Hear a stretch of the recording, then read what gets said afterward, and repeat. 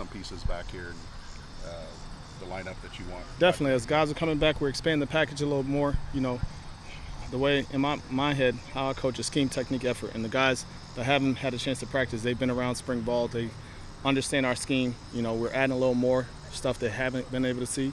But understanding the scheme and now getting the rust off, the technique part. Mm-hmm. So they're doing a good job with that and uh, just staying focused, locked in each day. You know, I got to keep them mentally engaged, right? So as they're coming back, they're picking it up, getting reps, so everybody's getting better. Coach Brohm's been impressed with Reese Taylor in camp. Talk about Reese and what you think of him. You know, it's, it's easy to be impressed with a guy that's made just about every practice, right? So he has had time to uh, demonstrate what he can do for us, and we have him in the field a lot. He wants to play in more in the boundaries, so we're giving him reps both places to be ready for the game. But uh, he's, he's just an instinct, instinctual kind of player, you know. So just getting him locked in on the technique, he's believed it from the first day. So he's just getting more reps, getting more comfortable, and being more aggressive attacking the football.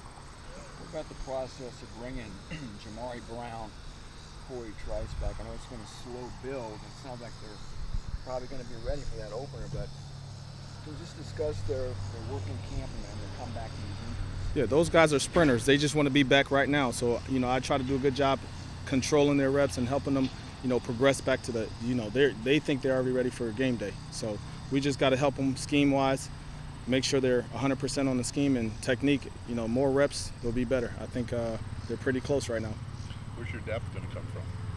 We have um, uh, Callaway, Brandon Callaway, really good player. He's developed a lot. He plays both ways for us, and uh, he's, you know, uh, he his anticipation for the ball has been for reading routes has improved a lot, and just uh, breaking on the ball, attacking the football at the end of the play. He's he's he's made a lot of PBUs, so he's shown he's shown up on tape a lot. Even our D line coach is asking about him. he's a fourth cornerback. You know, uh, that's what the D coordinator say. So right now, you know, we got guys getting reps and deciding, you know, how things will play out right before the, the final week for Penn State. Is Bryce Hampton playing some corner? We he, we mixed him in here and there just you know for security purposes. But now that everybody's coming back, he's getting a lot of reps at safety and nickel, and he's a he's a Swiss Army knife, right? He's very good athlete, and we're putting him in different places to have an opportunity to get on the field. What about Javon Grigsby? Griggs is uh, he, he when I got here he was a safety, and so right now we got him at corner. He's getting reps there. He's doing a good job. Uh, he's definitely better in the field, and he's working on the boundary stuff. So he's definitely improving day in day out. So I think he got a lot of reps in the spring before he got hurt, and then uh, now in the fall he's he's been with the corners the whole time. So he's adjusting well.